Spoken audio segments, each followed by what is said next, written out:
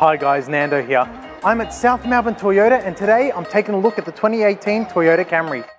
Spanning multiple generations, the Camry has been around since 1982 and continues to this very day. Having been built and re-engineered from the ground up, the 2018 Toyota Camry comes in four different models. You've got the sleek Ascent, you've got the Ascent Sport, which comes with body kit, You've got the SX, which has been engineered to thrill, and the SL, which is decked out with the most luxurious ride and made with high-end features purely for your driving pleasure. Externally, the Camry comes with these gorgeous alloy wheels, as well as this new front grille and this new body design. It's aerodynamically built for less drag and better efficiency while driving. Check out the leather interior and the accented trim. It places the Camry in a whole new class altogether.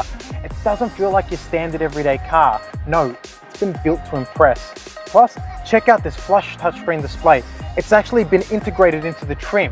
And we can't forget about these wheel mounted controls, which leaves everything right at your fingertips. Thanks to Toyota SafeSense, you'll get the pre-collision safety system, lane departure alert, auto high beam, and adaptive cruise control, which all come as standard across the Camry range. And that's not all. You'll also get front corner park assist, rear park assist, blind spot detections, advanced braking, impact absorbing body structure, as well as speed sensitive steering and seven SRS airbags. Well, what else is there to say? The new 2018 Camry is not just a subtle improvement on an already dependable model.